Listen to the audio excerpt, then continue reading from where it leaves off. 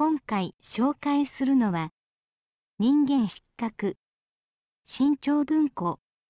という本です。怖いもの見たさが最後まで読み切らせてしまう改作最初から最後までここまでのめり込んで読めた小説は初めて。初めはこんなおかしな考え方をする人がいるのかと半ば見せ物を見つけたような怖いもの見たさがあったサイコホラーサスペンスの映画を見ている時の薄気味悪くも脳が興奮した状態に近い感覚だった。しかし読んでいるうちに主人公博羅が捉えるいびつんだ世界と自分が日頃感じている。この世の不条理とに合致する部分がいくつも出てくる。初めはあんなにわからなかった博羅の考え方に次第に自分を重ねていってしまう。博羅に自分の暗部を投影しその堕落していく姿に心を痛めそれと同時に自分の汚い部分が文章化され